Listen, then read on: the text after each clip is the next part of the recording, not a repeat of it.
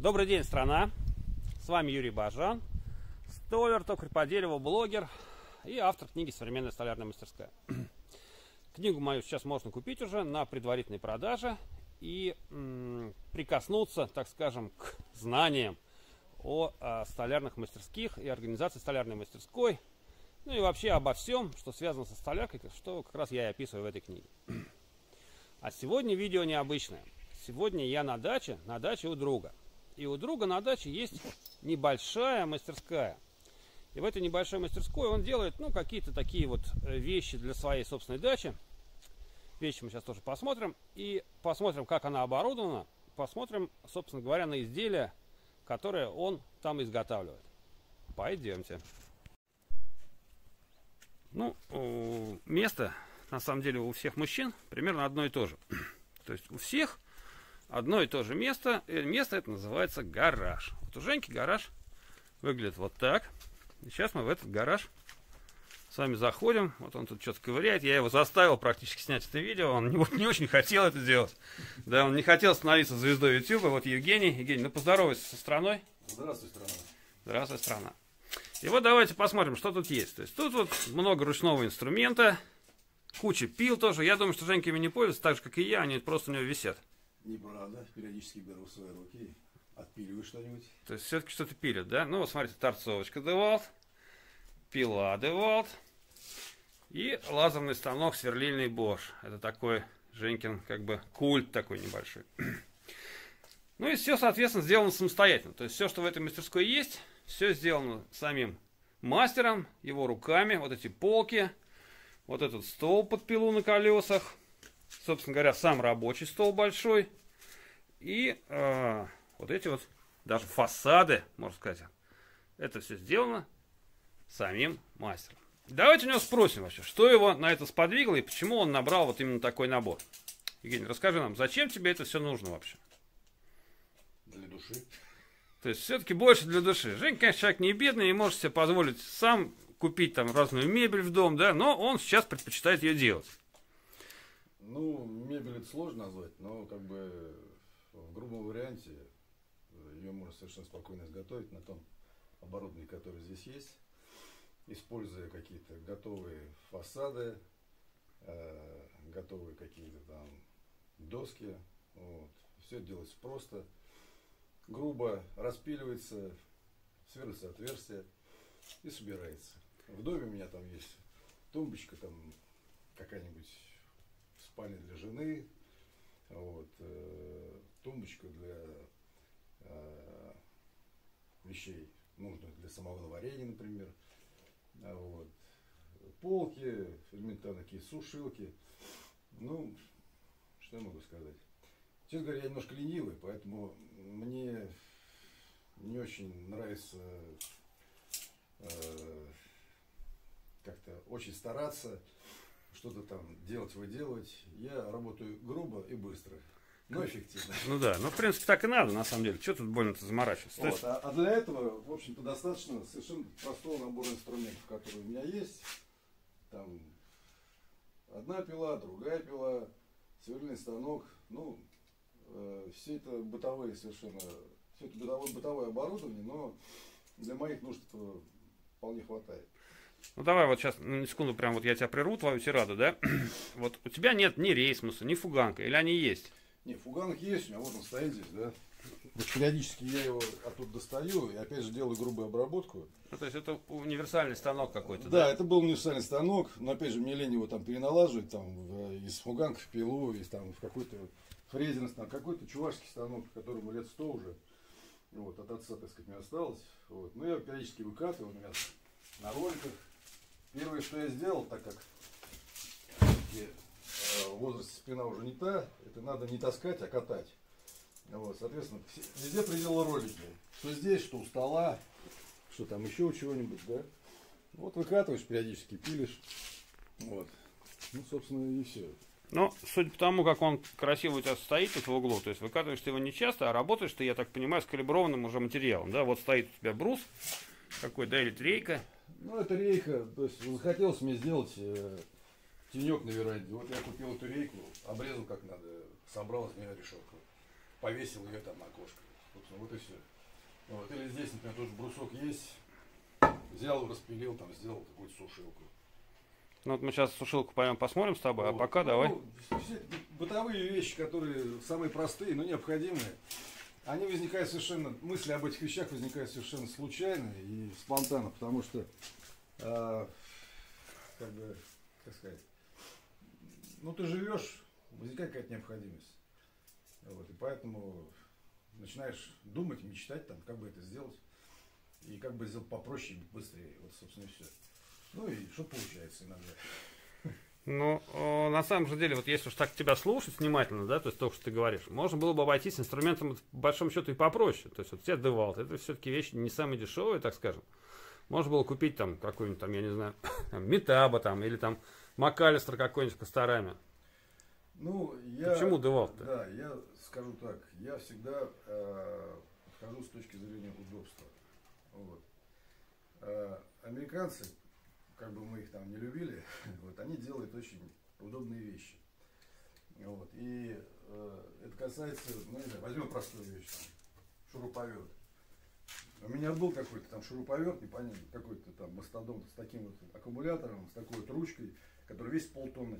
Я купил его, потому что мне удобно за него держаться. Мне удобно с ним работать. Вот. Он маленький, удобный. Та же самая пила. Вот. То есть я могу легко ее наладить, поставить в угол. И самое интересное, что у нее параллельность, она строго соблюдается благодаря простому совершенно приспособлению. Это зубчатая рейка. Ну, рейк там, да? Да, с двух сторон причем, да. То есть этот вот э, упор, он никуда не уходит, он всегда идет параллельно, и как бы ты уверен, то, что у тебя получится как бы качественный рез.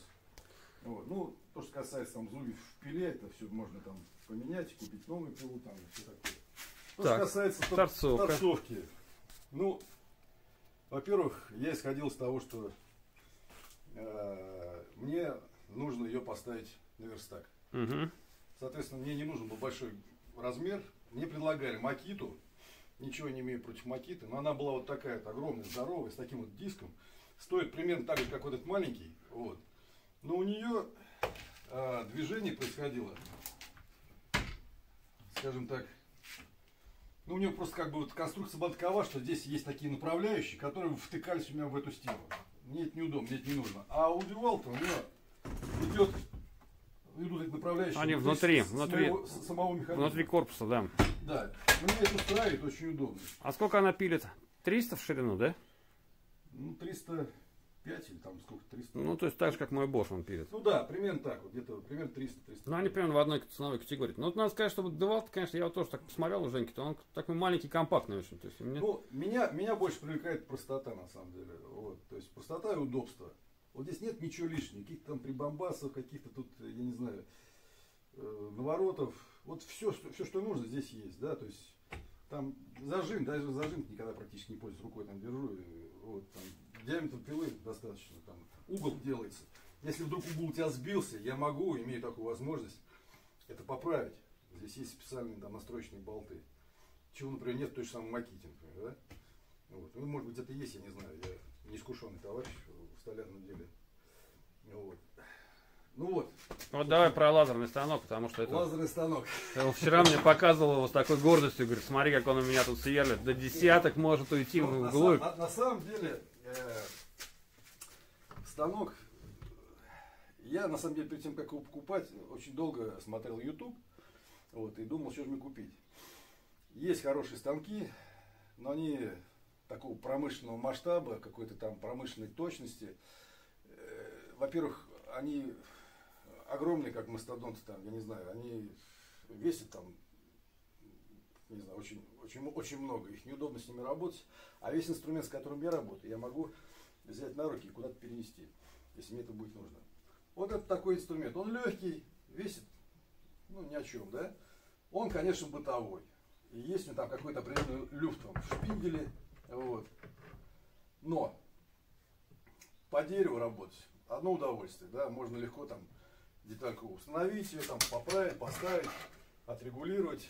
И Там, лазерным прицелом. Лазерный Лазерным прицел, ну, скажем так, не самоцель, конечно, да, но вот. Вот, но интересно посмотреть, да, вот если тут видно будет. Конечно, будет. То есть, то есть в принципе, все, все здесь точно. Вот. Все, что там, где, где идет прицел, туда опускает сверло и попадает туда, куда нужно. И самое, что интересное, на этом станке, ну, скажем так, можно э, отмерять глубину э, отверстия. То есть можно настроить так, чтобы ну, посверлить ту э, глубину, которую тебе нужно. Мне это периодически нужно, мне это как вот интересно. Поэтому, ну, судя по отзывам, станок надежный. Вот. Я много на нем не работаю, меня все как бы устраивает. Мне этого достаточно вот так вот, поэтому, собственно, в общем, весь его. Мне просто удобно, удобно с ним работать. Легкий, точный, какие-то особых проблем не замечаю. Ну, то есть, вот смотрите, братцы, если там подвести краткий это итог вот про мастерскую. То есть, мастерская совсем небольшая. Что тут, сколько тут метров в рабочей площади? Там, ну, может, метров 15, может быть, да? Ну, даже, может, и меньше. Может, даже и меньше. 15 метров, в принципе, набор инструмента э, ручной. Ну, вот, э, конечно, там 28 пил с половиной, это Женька, конечно, загнул, то, что он там как бы ими пилит. Особенно сейчас, когда у него есть вот такая пила и такая пила. Вот, по большому счету, вот смотрите, раз пила, два пила и сверлильный станок. Шуруповерт кучей э, калиброванного инструмента, и ты вполне можешь делать изделие, которое мы сейчас вам покажем. Первое наше изделие – сушилка в бане. Ну, Жень, покажи, как эта штука работает. Ну, еще совершенно простая вещь. Опять же, набор брусков уже каких-то обработанных. Мне лень было их там пилить, точить. Я их просто купил. Вот, и решил сделать нечто, что можно использовать после стирки белья, например, там, вот в бане, там стиральная машина стоит. Ну вот, простая вещь. Вот так ее отводишь. Специальные упоры, которые там упираются в стенку, и она не проваливается ниже. Вешаешь сюда полотенце, какие-то там простыни, там наволочки, какое-то белье. Ну, в общем, конструкция простейшая, да. Вот опять же там дырочки, которые были сделаны на сверлильном там станке с, нужным, э, с нужной глубиной. Не надо там сильно думать. Там э, на ту глубину там ты посверлил, не на ту. Отмерил, просверлил, все прекрасно. Все работает. Вот она так складывается, чтобы не мешать там проходу наверх, например. Вот. Наверху я там ничего не делал, поэтому, в принципе, снимать особо не надо. Сушилки можно придумать разные совершенно. Ну, там нам не позволяет, я так понимаю. Ну, там мало места. Там, там мало места. Вот. Ну, захотелось мне навести порядок в предбаннике. Собственно, тоже все время валялись какие-то полотенца, плавки, Вот трусы, мое сейчас валяется, да. Да, да всякое там это лабуда. Вот, и думаю, дай-ка я наведу здесь порядок. Сделаю такие маленькие шкафчики. Купил фасады в обе. Вот. Напилил этих досок. Ну там щит, да? Щит ну, готовый. щиты, да, готовые щиты взял. Ну, наделал там, купил эти э, элементы для сборки мебели, вот эти, как там, болты, я не знаю, как они называются, вот эти вот, ну, шестигранные там, ну, есть разные совершенно. Вот.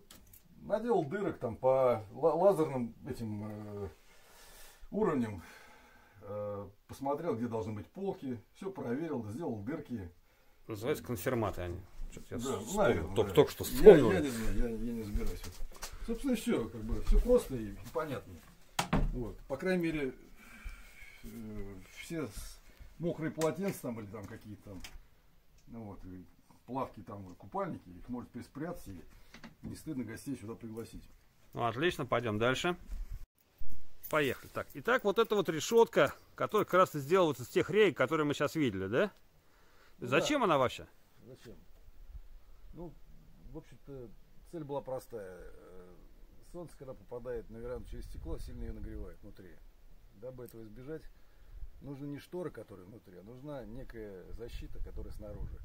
Это могут быть жалюзи, какие-нибудь там, не знаю, там нет, он... по -по покрытия какие-то, я не знаю, там тенты. Ну, я пошел по такому пути, взял обычную рейку и нарезал ее, и, и там скрутил из нее такие вот решетки повесил. Теперь объем тепла и света очень сильно, так сказать, в этом месте. Слушай, а скажи мне вот такую вещь. Вот смотри, вот ты решетку сделал. Ну смотри на меня, что ты на решетку смотришь? Решетку все видят уже. Вот. Ты скажи мне, вот, вот если такую решетку покупать, например, сколько она будет стоить денег? И вообще продается ли она вообще? Нет, ну, надо исходить из того, что все вещи делаются под себя, исходя из того... Э, из твоего размера, да? Да, там? из моих размеров, из того, что мне нужно, из того, что я придумал. Вот. И, соответственно, как бы вот, мне нужно было вот это, я здесь сделал. В магазине, конечно, это не найдешь. В магазине, может, там есть и лучшее, но даже иногда смотришь в магазине, есть какие-то совершенно простые вещи, но они стоят приличных денег. Вот. Ну, справедливости ради, могу сказать, что дело не совсем в деньгах, а дело в том, что хочется сделать что-то своими руками полезное, и ну, чтобы подходило тебе вот здесь и сейчас. Ну, отлично. Пойдем в дом. Так, вот это очередное изделие тоже. Ну, рассказывай, что это такое? Что это такое? Ну, я даже не знаю, что это такое. Это просто тумбочка, в которой удобно хранить какие-то вещи, которые тоже были не в порядке, где-то валялись, лежали. Теперь их можно было сюда поставить, спрятать, закрыть. Вот. Ну, в общем, совершенно такая обычная типовая бытовая ситуация.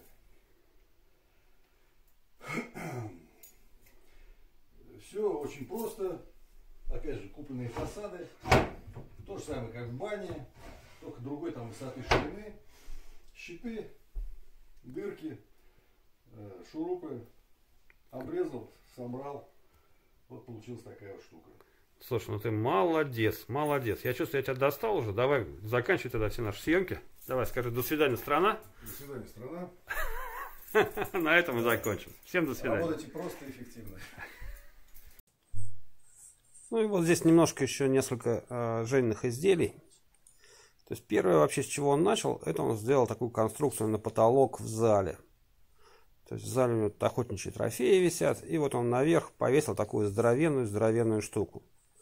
В принципе, эта здоровенная штука такая, ну, самая простецкая. То есть обычный брус, э, пропитанный какой-то фигней, скрученный между собой на э, винты и подвешен к потолку.